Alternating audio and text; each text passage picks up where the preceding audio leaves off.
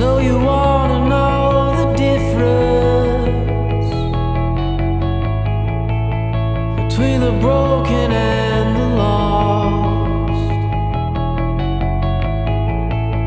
between the voiceless and the muted,